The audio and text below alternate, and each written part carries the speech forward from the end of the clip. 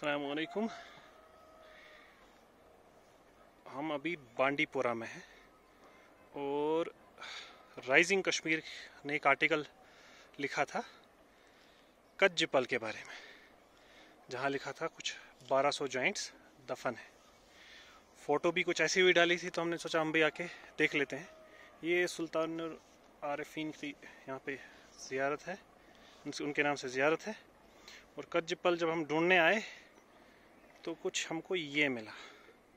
Localites ने ये बताया जो बिल्कुल ही जो राइजिंग कश्मीर ने आर्टिकल शेयर किया था उससे बिल्कुल ही ये मैच नहीं कर रहा है। बिल्कुल ही उसके अपोजिट है। अपोजिट क्या है? उससे बिल्कुल ही मिलता जुलता ना अपोजिट है ना उससे मिलता जुलता है। तो हम बस ये गुजारिश करना चाहेंगे राइजिंग कश्मीर से।